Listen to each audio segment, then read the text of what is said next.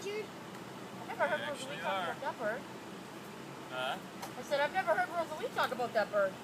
He's chasing him back down. Oh yeah, that's not a uh, sexual thing. Oh, that's aggressive. That looks pretty aggressive. Wow. Oh, yeah? That's pretty aggressive, all Yeah, right. that's pretty aggressive. That's aggressive. aggressive sexual. It's really early too in the It's, it's season not for April breeding. yet. You can't, you can't do this till April. You just can't, you know, Is that what's nature nature is a lot of shades of gray. Well, he ate, and now it's time for sex, and then he'll go to sleep. Just like every man I know. She's not ready for it though. She's going in her She's like, burrow. sorry, buddy. That's why we're here.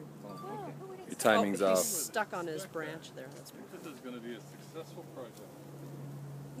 Come on, honey. And they're very active the last couple of weeks since we don't have cold fronts going on and stuff. So they've That been- is some they've serious definitely been bobbing. running Is around. that another burrow there, do we think? That is a burrow. Is that his head? So the. the front of the burrow, we see all the sand pouring out always. It's called a bib. I don't know if you've read much on them so before you came in. Okay. Like some of their favorite foods. Do you have? She's not even looking at you.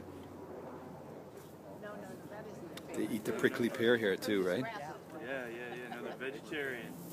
Vegetarian. Favorite So, um, Although those who as a master still have it. naturalist doing these kind of things, what I would be noting right now is the vegetation type around here, what plants you're seeing.